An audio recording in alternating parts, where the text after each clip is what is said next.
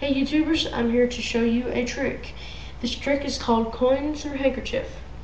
Now, um, what I'm going to do is I'm going to take this handkerchief, put it right under, like that, and then I'm going to show you it real quick so you know it's there.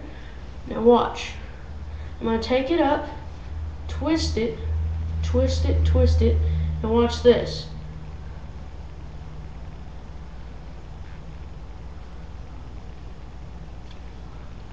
Pull it right out of the handkerchief and watch.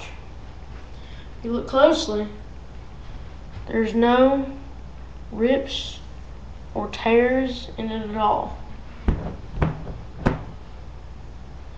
Alright, there should be a tutorial following this, and thank you for viewing. Bye.